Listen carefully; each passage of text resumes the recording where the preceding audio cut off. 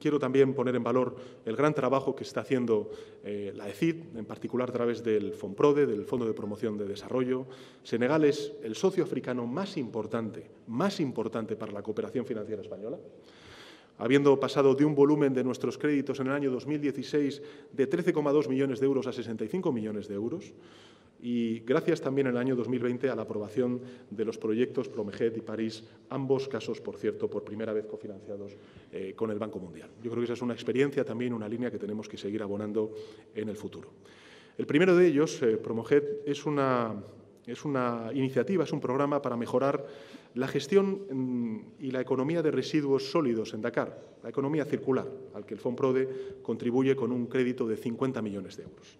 El segundo, París, eh, forma parte del apoyo a la iniciativa regional para la irrigación en el Sahel, al que el FONPRODE contribuye con tres créditos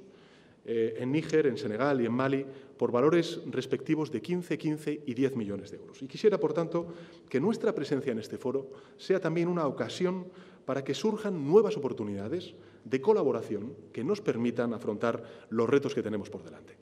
Yo soy de los convencidos de que las empresas españolas y senegalesas ya han formalizado alianzas de este tipo, en donde se suman de forma efectiva el dominio técnico en el conocimiento